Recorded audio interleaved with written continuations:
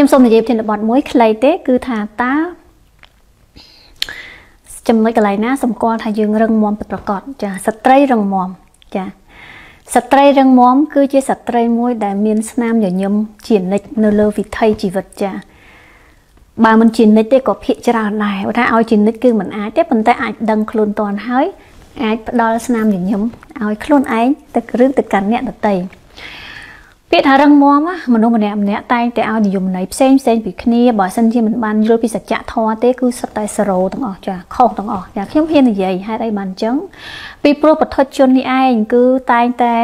យល់ច្រឡំនៅសេចក្តីពិតចាថាយល់រឹងមាំតាមសម្បកក្រៅតាមភាពលយឆាយមើលទៅដូចថា ការអង្គុយកងតាក់ខ្លាឬក៏ចរិតរៀងព្យាបារាំងហៅថាព្យាមកទៅលយកាយវិការរៀងទុកចិត្តអាហ្នឹងថារឹងមាំខ្ញុំពីមុនខ្ញុំយល់អញ្ចឹងប្រិមិត្តចាតែដល់ពេលខ្ញុំមកបកលើសច្ចធម៌ចាសិក្សាសច្ចធម៌មិនដឹងថាខ្លួនឯងនឹងយល់ខុសចា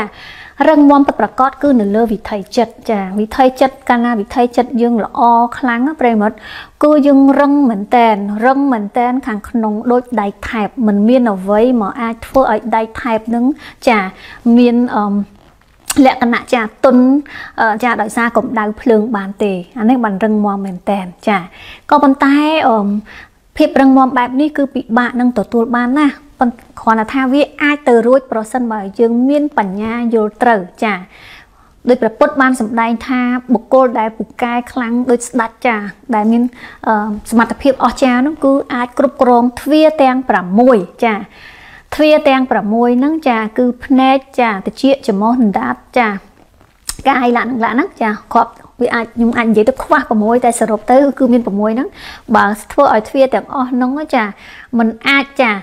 ឲ្យព័ត៌មានខាងក្រៅចូលតាមច្រកទ្វារនឹងបាន ចា គឺបិទខ្ទប់តែម្ដង ដូចជាផ្ទះដែលមានដំបូលទោះបីមានភ្លៀងក៏មិនអាចសើមអានោះបានហៅថារឹងមាំចាអញ្ចឹងមនុស្សដែលមានលក្ខណៈរឹងមាំបែបនេះគឺមានមេត្តាចិត្តនឹងខ្ពស់ចា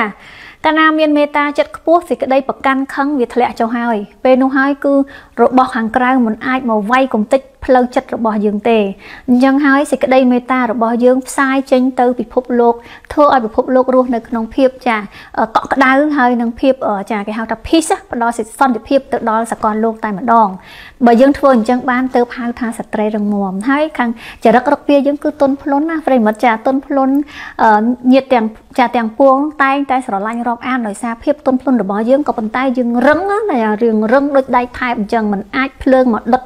កម្ដៅដៃថែបនឹងបានទេចាក៏ប៉ុន្តែអារឹងមុំដែលប្រិមិត្តធ្លាប់ឃើញឬក៏អ្វីដែលគេផុសពីស្ត្រីអញ្ចេះអញ្ចអញ្ចេះអញ្ចហ្នឹងសិតតែคล้ายคล้ายទេប្រិមិត្តសរោបន្ទុចាបើសិនយកសច្ចធម៌មកផ្ទៀងផ្ទាត់គឺអត់ត្រូវទេចាហើយការរឹងមុំបែបនេះគឺធ្វើឲ្យយើងនឹងមានមានះនៅក្នុងខ្លួនទៅវិញទេអញ្ចឹងយើងយើងសន្សំនៅអំពើបាបទៅវិញចា យូរយូរទៅយើងលែងឃើញអ្នកដតីមានតម្លៃហើយសូមឲ្យតែប្តីខ្លួនឯងចាអញ្ចឹងកុំឆ្ងល់ថាហេតុអីមិនប្តីមានស្រីក្រៅចាជួនកាលមនុស្សស្រីដែលពូកែការងារខាងក្រៅហ្នឹងគាត់ច្រឡំថាហ្នឹងឲ្យគាត់រឹងមាំប្រិមិត្តដល់ចុងក្រោយប្តីមានស្រីប្តីមានអ្នកដតីគឺបានទឹកភ្នែកចាជូតក្បាលជង្គង់ទៅថ្ងៃក្រោយប៉ុន្តែខ្ញុំមិនមែនគ្រប់គ្រងឲ្យមនុស្សប្រុសយកដំណោះស្រាយប្តីមានស្រីហ្នឹងមក ជួសជុលនៅសម្ព័ន្ធភាពដែលរៀបការជាមួយមនុស្សស្រីដែលរឹងរឹងមាំផ្នែកសម្បកក្រៅទេ យើងត្រូវដោះស្រាយដោយគេហៅថាយកទឹកបង្ក្រាបភ្លើង ចាយកទឹកបង្ក្រាបភ្លើងម្ល៉េះហើយចាស្ត្រីទាំងឡាយចាភាពរឹងមាំពិតប្រាកដណាគឺធ្វើឲ្យបញ្ញាយើងដុសខាត់ខ្ពស់ណាស់ចា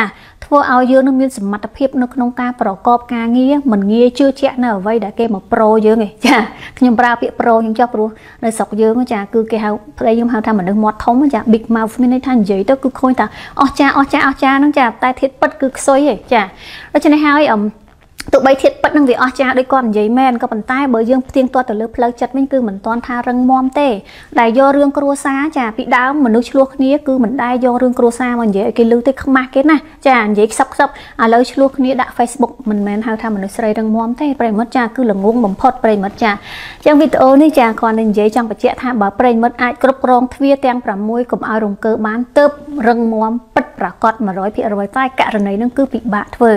ប៉ុន្តែបើយើងព្យាយាមធ្វើពីមួយថ្ងៃហ្វឹកហាត់ចិត្តយើងវាអស្ចារ្យប៉ុណ្ណាប្រិមិត្តចាដែលយើងអាចហ្វឹកហាត់ចិត្តរបស់យើងឲ្យមានសភាពមួយចាដោះដោះលែងចាចិត្តខ្លួនឯងឲ្យមានសេរីភាពកុំឲ្យមានអ្វីមកមកមកคลายជាសោចាក់ សោនៅក្នុងចិត្តរបស់យើងបានណាទើបបានហៅថារឹងមាំពិតប្រាកដអរគុណច្រើនសម្រាប់ការចំណាយពេលដ៏មានតម្លៃស្ដាប់វីដេអូឃ្លីបរបស់នាងខ្ញុំចាសូមអរគុណរាត្រីសួស្តីចា